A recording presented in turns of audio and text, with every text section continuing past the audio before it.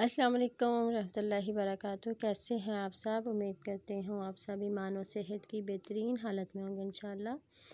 आज मैं बनाऊँगी मूंग की छिलके वाली दाल। तो ये मैंने दाल भिगो के रख दी थी दो तीन घंटे के लिए और अब इसको अच्छी तरह से धो लूँगी। साथ ही मैंने एक प्याज ले लिया है और आधा कप ऑयल लिया है। इसमें प्याज को फ्राई कर लूँगी। और ये लहसुन, अदरक और सब्ज़ मिर्चें, इनको मैंने अच्छी तरह से पीस लिया है। ये भी इसमें डाल दूँगी। और दो मिनट तक इसको भून लूँगी अच्छी तरह से।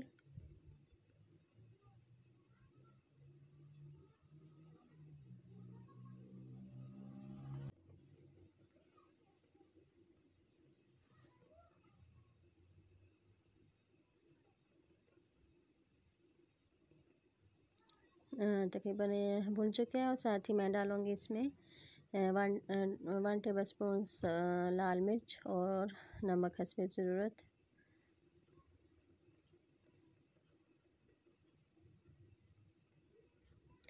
और एक अदद टमाटर वो इसमें ऐड करूँगी।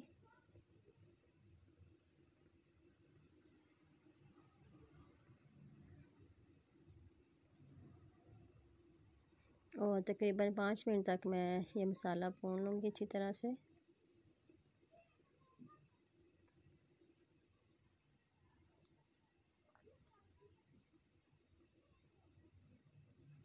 मसाला तकरीबन भुन चुका है।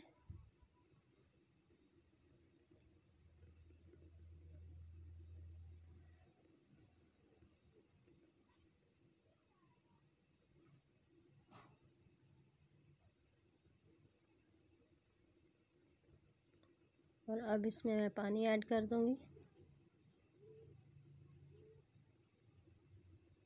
आपने इतना पानी डालना है जिसमें दाल अच्छी तरह से गल जाए।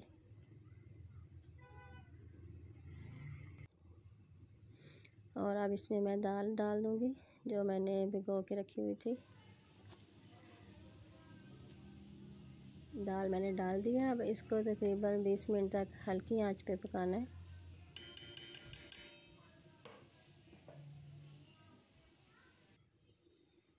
देखिए, मैंने 20 से 30 मिनट तक इसको अच्छी तरह से पका लिया और दाल अच्छी तरह से गल चुकी है।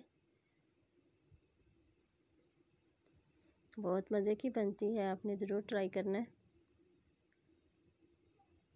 अब मैं इसको डिश आउट करूँगी। ये जी हमारी दाल बिल्कुल तैयार है। अगर आपको मेरी रेसिपी पसंद आई है, प्लीज़ लाइक और शेयर ज़रूर कीजिएगा। और अपनी दुआओं में याद रखिएगा। अल्लाह हाफिज़।